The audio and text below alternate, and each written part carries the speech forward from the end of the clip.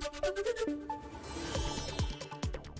ਤਾਰਾ ਸੁਤਾਰੀਆ ਤੇ Ahan Shetty starrer film Tadap ਦੀ release date ਸਾਹਮਣੇ ਆ ਚੁੱਕੀ ਹੈ। ਫਿਲਮ ਨੂੰ ਸਾਜਿਦ ਨਾਡਿਆਡਵਾਲਾ ਨੇ ਪ੍ਰੋਡਿਊਸ ਕੀਤਾ ਹੈ ਤੇ ਇਸ ਫਿਲਮ ਲਈ 3 ਦਸੰਬਰ ਦੀ ਰਿਲੀਜ਼ ਡੇਟ ਫਾਈਨਲ ਕੀਤੀ ਗਈ ਹੈ।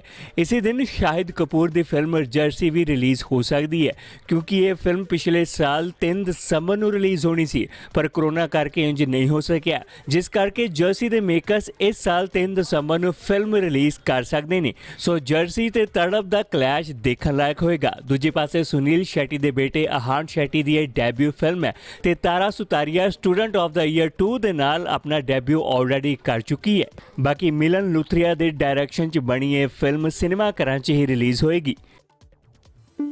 ABP ਸਾਂਝਾ ਜੋਸ਼ ਜਜ਼ਬਾ ਜਨੂਨ